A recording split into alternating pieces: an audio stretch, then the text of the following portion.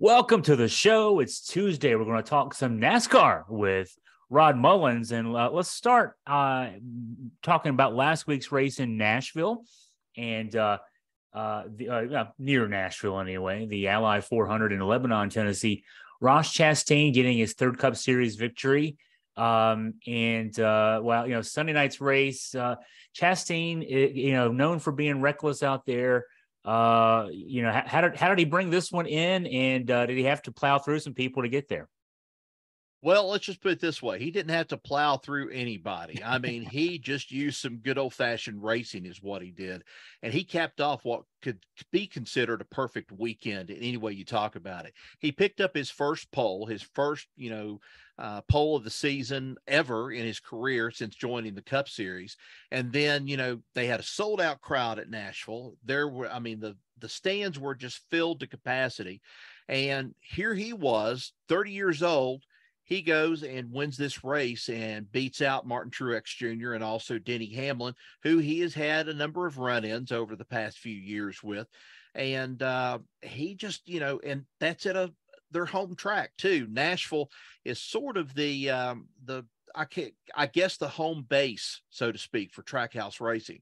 And that's where, you know, he felt like that they covered all the bases this past weekend there in Nashville. Plus, at the same time, I think it also introduced the the rest of the world, the rest of the country, to the fact that Nashville is hungry for some racing and they want some racing there in the city. They, I mean, hey, they've got IndyCar. They, you know, they do a street race IndyCar there. Of course, they've got the Titans. They've got, you know, different things. They've got a, a soccer team. Uh, they're really trying to push to make Nashville a southern hub for a lot of these great sports, and NASCAR is just another one that they're hoping to be able to add and bring it there in the next couple of years and move it into downtown Nashville. So, um, you know, I read a story about a Trackhouse owner's uh, name is Justin Marks, and he talked about mm-hmm. after the race. He said he talked with uh, Rick Hendrick and Roger Penske for advice on handling a guy like Chastain who can be quite aggressive. Let's just say, and um, after after you know talking with them, Marks compared Chastain to guys like Brad Keselowski and Kevin Harvick, Tony mm-hmm. Stewart, aggressive drivers who had to learn how to kind of dial it back just a little bit. You know, you you still want to be aggressive, but also not knock yourself out of contention by being too aggressive. Um, you know, in in that context, maybe this is a big win uh, just to show that okay, you know, aggression can actually work if if you kind of just if you could just dial it back just enough. Well, I think this was the Ernie Irvan come to Jesus talk that uh, Ernie Irvan and uh, Richard Petty and a lot of them had back oh, I guess in the 90s when he was running there before he uh, left uh, Morgan McClure Racing and went over to Robert uh, Yates Racing uh, after the death of Davey Allison. But yeah, this is very similar to that. You know, the everybody up in arms. They were ready to just you know cast him out. They were ready to cast stones at him, hang him for that much. You know that some of them wanted to just go ahead and do that but I think I said, uh, you know, several podcasts back, I think I made the comment. I said, he's just doing what he is supposed to do, what he feels like he is supposed to do to win a race. And yeah, maybe he's done it a little bit too aggressively. And I agree with this. This is one of those things where they had to kind of pull the reins back. I mean, hey, if you've got a horse and it's running full power and you're only a quarter of the way into the race and everything, it's time that you start dialing that horse back a little bit, building up a little bit in order to finish that race. I mean, that's what happens at most of these uh, horse races, and especially with the Kentucky Derby. We start seeing the the front runner who is picked to be a front runner out of it start to make their move toward about three quarters of the way, halfway, three quarters of the way around you know the track same thing here with you know ross chastain i think he did the same thing he patiently let the track come to him he went had dialed back. He did not try. You know, this was the funny thing about it too. He said, "I did so. I won this race without hitting anybody." and knocking them out. I think that was just funny. And I think he realizes it now. He realizes, yeah, I can win some races if I dial back. But he also said, I think post race, he said, you know, there's been a lot of people that's told him he needs to change to be a certain way and stuff. But he thought more than anything else, he had kind of come into his own as a driver on Sunday night, and I agree with that. I think he came into it uh, being a driver, and you know, a lot of places right now are talking about the fact of he could be a championship contender if he has more races like this for what's left of the season. You know, he's in the running for it. He could be in the running for a, a championship. The other big news, other than the the the winner of the top five, was the crash involving Ryan Blaney, uh, just under halfway uh, in uh, lap 146 on a restart. Uh, Blaney uh, was tapped from behind by Kyle Busch. Blaney said afterwards he had checked up a little bit on the restart, got hit from behind. He couldn't get straight up, and after hitting the grass, uh, he he hit a, a, wall, hit the wall head on, and a a strange little coincidence. It's one of the parts of the wall there without a safer barrier. Uh, and uh, he said it's the hardest hit of his life. And he said it was pretty ridiculous that he could hit a part of the wall that somehow does not have a safer barrier. I can't, Ron, I don't, I don't know that a lot of fans out there can believe there are still parts of walls on NASCAR tracks that don't have the safer barrier. Yeah, you're right. And I mean, you look at Bristol. Bristol is guys one of those tracks. The inner wall per se, and this is what that was. It was one of those infield walls. Uh, the inner wall right there along pit road, it doesn't have any kind of safety protection or anything, except on the corners where they have the uh, the water barrels. They've got those in there for safety, just in case. But uh, yeah, this one at Nashville did not have any kind of safer barrier, and and I'm kind of wondering too if you're going to put walls up and you're going to have walls uh, you know, around the track, if it's going to be on the outside, if it's going to be on the inside, put the safer barrier walls. I don't care how much styrofoam or how much more that you've got to put in there, you've got to make it safe. This was one of those things of where Elton Sawyer, who's like the director of competition with NASCAR, he made the comment and said, well, he kind of hit the wall where he wasn't supposed to. And it's like, well, you know, that doesn't make any sense to it. if he's, if, you know, hitting the wall where he wasn't supposed to, it's like, everything on a racetrack is fair game. That's that's kind of the way I look at it. I mean, I hate to say it that kind of way, but uh, it almost sounds like I'm downplaying it. And and in one way, I think this is one of those things of where Speedway Motorsports, NASCAR, they're all going to kind of get on the same page here, and they're all going to kind of look at this thing, and they're going to say, "Hey, look." This is what we need to do in order to improve our safety rating, so to speak, on these guys, you know, especially in these kind of races. They need to be protected. And and I agree with him. I, you know, I think that was just I, I think uh I think Ryan Blaney's comment was it's something along the lines of it was effing ludicrous or something like that, I think was what the comment was. And uh, you know, and I have to agree with him. You know, NASCAR makes a lot of calls and sometimes they're not very they're not very great calls. They're not favorites of the crowd, of the fans, and so forth. But this is one that, you know, I'm kind of like, this is what I'm doing. I'm scratching my head and I'm wondering why? Why wasn't this wall protected? And we're lucky. I mean, I'm sure that he's undergone some some you know, uh, testing and so forth to check him whether or not he's had a concussion out of it. But he took a really hard hit. The energy just did not dissipate in the car as it was shooting across there, across in the, the grass area, and then started making that beeline toward the wall. It didn't slow down. The the grass didn't slow it down. And I thought for sure, okay, he's going to hit at a little bit of a different angle. Well, he did hit at a slight angle the right front is what hit. But then when that right front made enough contact, it was like an accordion. It was like somebody just crashed it in. It didn't go and crumple up like an accordion, but it did bend that hood up pretty well. And, you know, he was lucky to come out of that uh, unscathed the way he did. You know, and I read a story too, Rod, about how um, it, this this accident exposed a, a recurring problem with the new design of the cars that basically these new cars are are not dissipating that energy the way right. that the previous designs did. So, you know, okay, so if we know that these well, one, okay, let's work on the new cars and, and make them safer too. But if we know that in the meantime, the cars aren't as safe as the previous versions of cars that, that were driving around the track, that would make the safer barriers e- even more imperative, it would seem. Yeah, I think so too. I think this is just something that NASCAR NASCAR's had a lot of things, you know, pardoning the baseball pun here. They've had a lot of curves thrown at them here in the last couple of years with this next generation car. And they've had some things happen. You know, who would have thought rubber, you know, marbles getting up inside of the car and stuff, and then getting superheated and then catching that uh, framework and some of the insides on fire in some of the cars. And Kevin Harvick calling it out and saying, you know, it's a death trap. That's essentially what he said about the car. They made the changes, they got them done.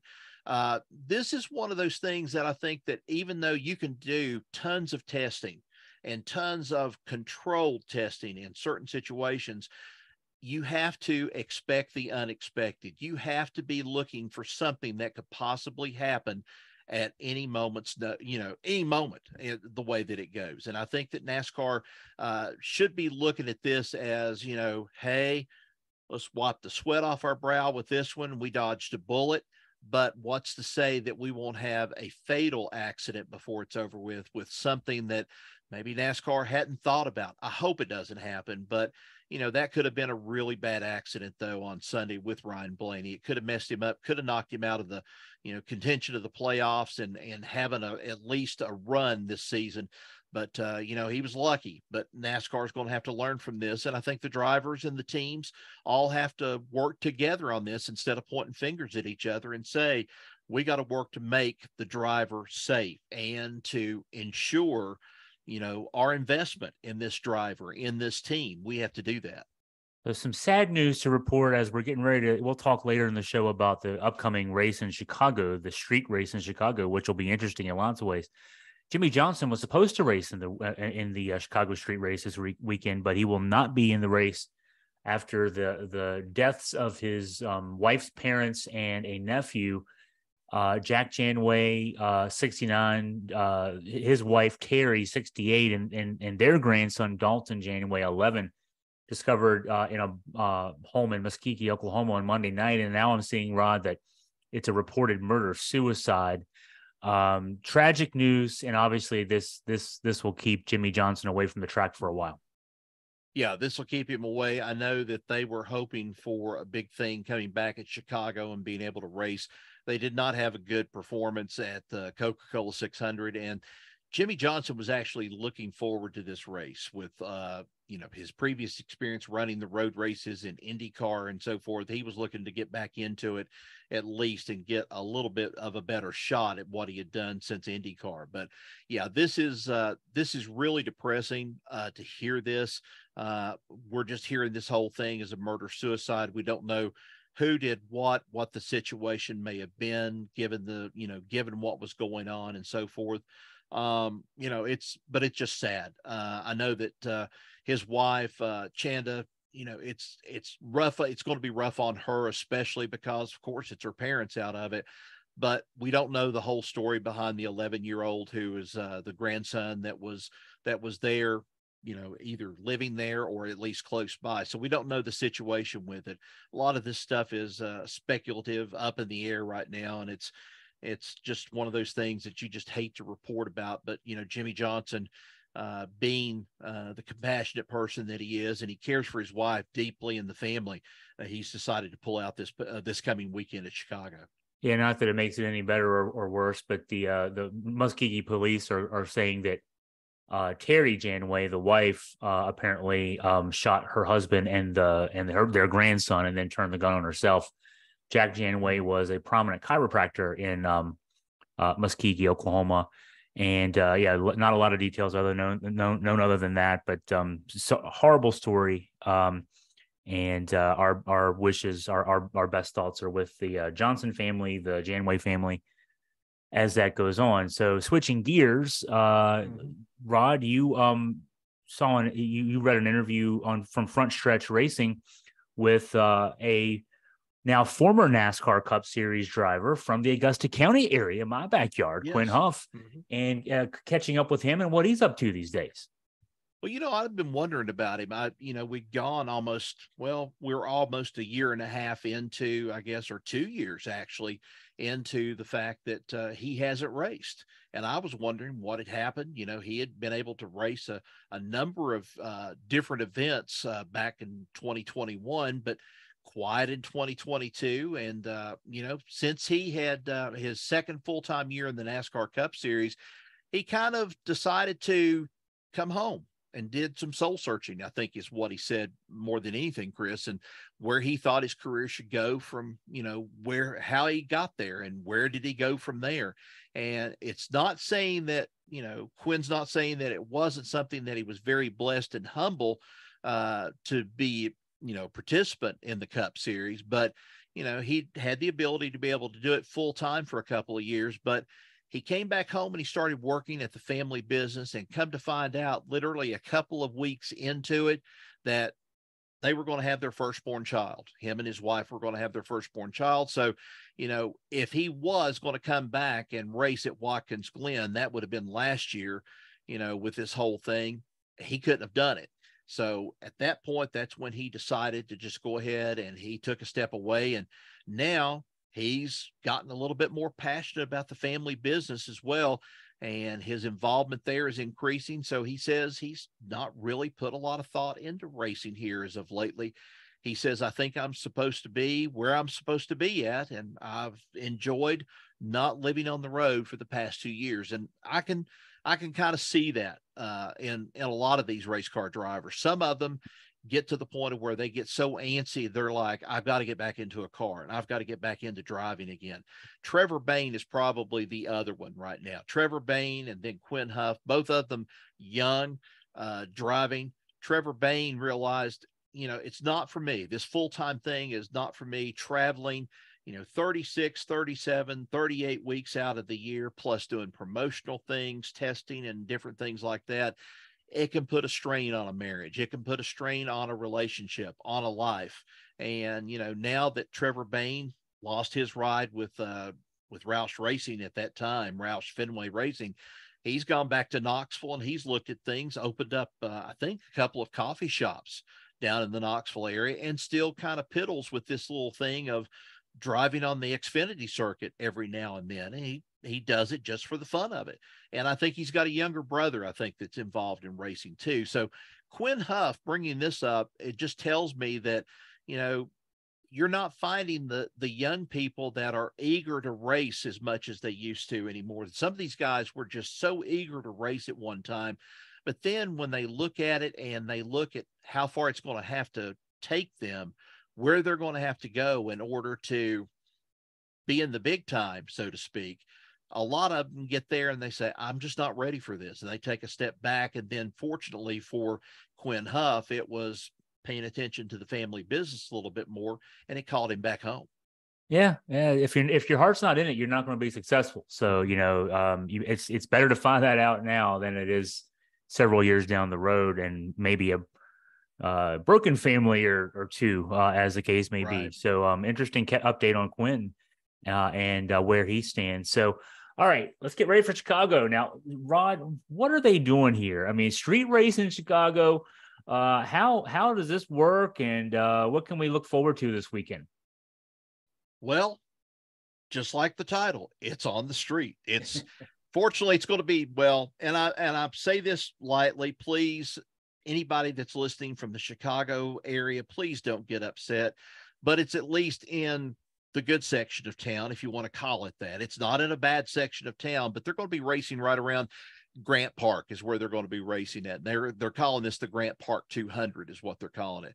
But I can't believe all of the gosh sponsorship and people getting involved in this Chicago race. People that you know I've I've maybe have heard of at one time or another, but jumping in to get sponsorship either on cars or on the wall as they're coming by there on some of the street uh, some of the street venues where they're going to be at.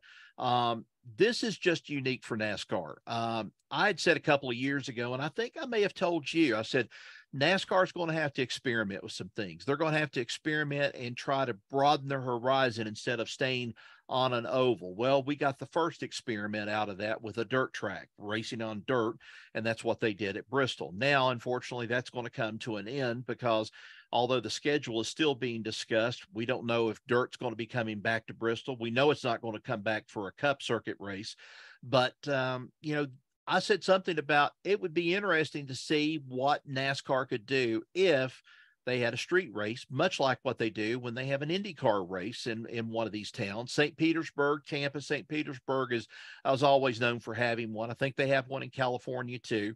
Um, but this one in Chicago, this has set the entire Chicagoland region on its ear. They're just looking forward to this. I guess when you hear the headlines every day about somebody being shot and everything else, you're going to try to be on your best behavior and you're going to try to make it look inviting for people to come to Chicago actually instead of dodging bullets, but actually to watch a race or to enjoy Chicago. And I've been to Chicago before. I've been in this location where they're going to be running this race. It's a very picturesque place. It's nice. Uh, you know, it's just going to be a difference. You're not going to be able to go three wide in some of these streets like they did at Nashville this past weekend. Uh, but I think this is going to be a extremely challenging race for some of these drivers, and uh, I think some of them right now, um, I I don't know. I think some of them are going to do really well. I think some of the veterans that we think that could do well on a street course are not going to do as well. I think this is going to favor somebody that has run the road courses like they have in the past. I'm just it's, it's curious. I'm trying to read more about it as the uh, last couple days have gone on to get mm-hmm. ready for it, and just the idea. It's it's a fascinating idea. Uh, the yeah. idea that NASCAR's taken over America's like basically second or third biggest city uh, for for and, and, actually for the whole weekend. The uh, Loop 121, the Xfinity race uh, on Saturday, and then the uh, Grant Park 220, as you mentioned, on Sunday. Um, and I mean, they've got to create viewing areas. They got to create a pit area, mm-hmm. you know, and it's it's right there in the middle of the city. It's just very interesting to think about, and will be even more interesting to see.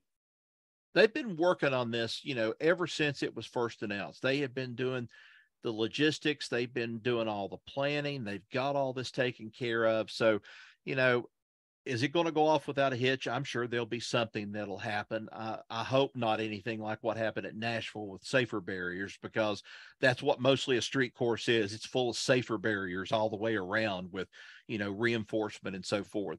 Um, I think more than anything else, this race is going to showcase more than anything else that NASCAR needs to move outside the oval a little bit more. They need to move from the regular short tracks.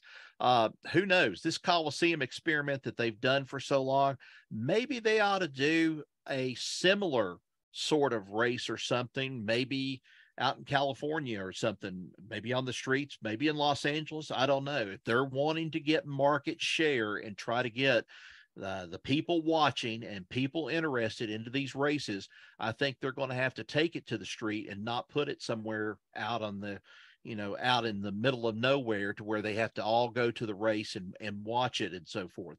So I think it's going to be, I think it's a, a great experiment for this to find out what's going to actually, uh, how it's going to take place and how it's going to actually transpire on Sunday afternoon. I know NBC has got coverage on it. They've been interviewing all of the drivers. Uh, they've been interviewing Dale Earnhardt Jr., Jeff Burton, Dale Jarrett, uh, you know, getting their thoughts about it. Dale Earnhardt Jr. was not too keen on this, but it's I think he's one of these people that looks at it and says it's an experiment. It's it's something we need to look at and just see how it's going to work. I mean, for that matter, if they want to get a little bit more daring, why don't they try something that's like uh, one of these road courses or one of these little trips that they have? Uh, we had it back in uh, uh Wise County and Norton here a couple of weeks ago. Uh, I think it'd be a little bit tough for them, but uh, they had a, a, bunch of race teams that went on this excursion to the top of High Knob and came back down again. And you know, it's straight up. I mean, it's almost you know you're looking at it's just under a mile a mile up, but still it's rough to have to get up there, the curves and everything else. Uh, maybe NASCAR needs to look at one of these uh, road challenges or a road course sort of thing, sort of like what Robby Gordon's done in, in, places like over in Africa and different things like that, but in a more controlled environment. I think that would be interesting. But, you know, this is just the first. We'll just see how this goes, but I think it's going to go pretty well. Yeah, you know, I know it's a controlled environment, certainly, but, uh, you know, racing around in a city on streets that other people you know will be driving on after the race is over certainly uh, it kind of makes you think a little bit about the roots of NASCAR, which which right. is guys who were out running the revenuers. I mean, it's you know? Right. They're driving around, and it's all you know. All, the only thing missing is the actual guys with sirens chasing them. But other than that, it makes you kind of feel like this is this is getting back a little bit to the roots of NASCAR. Yeah, that's me. That's the way I feel about it. I mean, the only thing that we're not seeing is these guys being able to tweak the car and be able to do little things to make it go faster. I mean, all these cars are pretty much set now in speed. You know, if you've got a car that actually does better, yeah, it's not as simple as just going under the hood and fixing the car in just a few short minutes or putting a new head or putting something else on the engine to make it go faster.